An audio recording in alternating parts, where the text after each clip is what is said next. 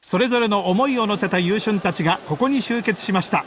用意された舞台を駆け抜け頂点に立つのはどの馬かいよいよ発走です。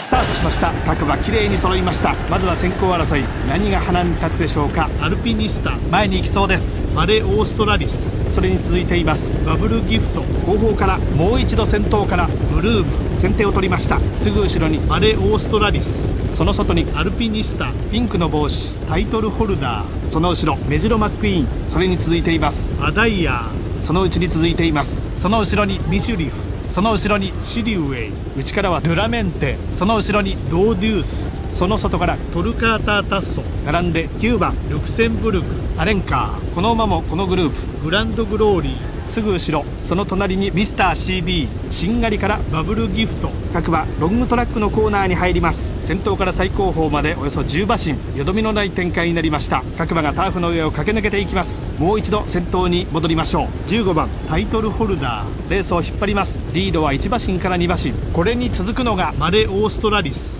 並んで12番ブルーム。間が空いてアダイヤ。ーその後ろからはルラメンテ。その外にアルピニスタ。並んで13番メジロマックイーン。内からはミシュリフ。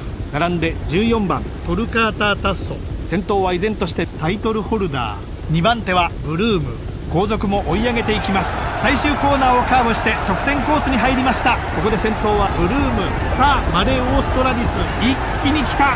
ブルーム。先頭外からアルピニスタ。先頭アダイヤー。追いすがります。